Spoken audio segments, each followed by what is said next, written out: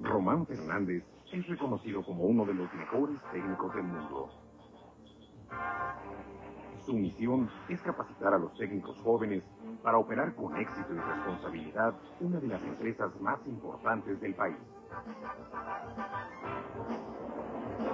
Debemos estar bien preparados, porque nuestra meta es que viva México.